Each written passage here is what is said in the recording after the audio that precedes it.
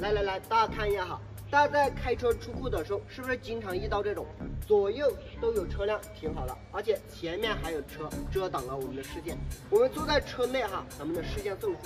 开车出库的时候，总是掌握不好打轮时机，要么咱们的车身刮蹭，要么车头车距不够。那么今天啊，车哥教给大家四个技巧，新手只要学会了，在咱们这种狭窄的车位也能一把轻松出库。第一点，我们要知道我们车辆转弯时的第一个极限距离，那么就是七十。当我们的车身和旁边车辆大于七十厘米的时候，我们把车子往前开，只要我们的后视镜。过了咱们旁边车辆的车头，我们往左打死方向盘，我们的车身就不会刮蹭到咱们旁边的车辆，大家可以放心大胆的开。第二点，那么就是车头前有障碍物时，我们要知道我们的车头极限打轮的距离是哪里？咱们车头的极限距离呢，是把我们的车子往前开，盯住咱们的引擎盖或者是车窗玻璃角。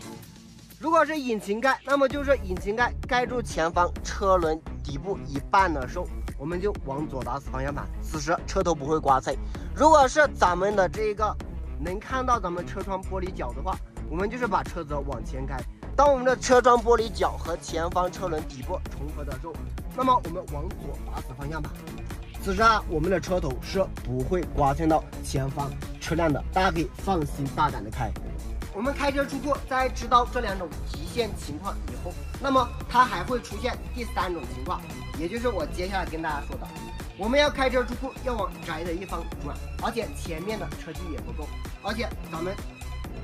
窄的这一方车距也不够的情况，我们应该如何开呢？针对这种情况呢，我们还要往窄的这一方打方向盘。首先，我们上车要做的第一步就是加大车距，我们往左，那么就加大左侧的车距。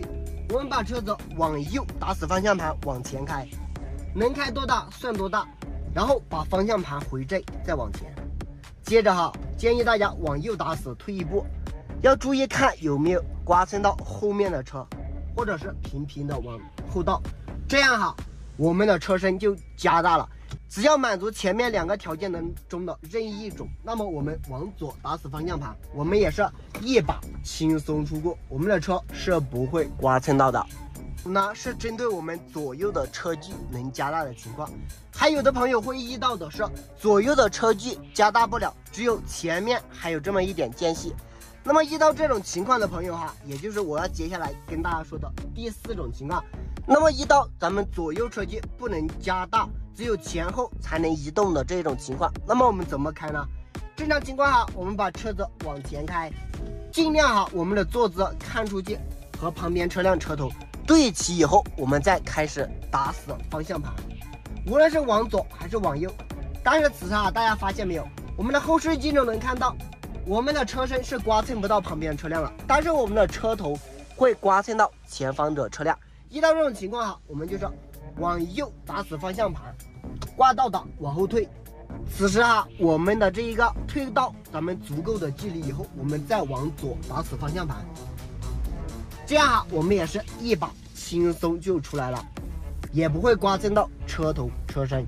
如果是右侧的话，大家用相反的方向来开车出库也是一样的。我车哥，如果这个视频对你有一点点帮助，那么记得帮我点赞、关注以及分享。今天视频就到这里，拜拜。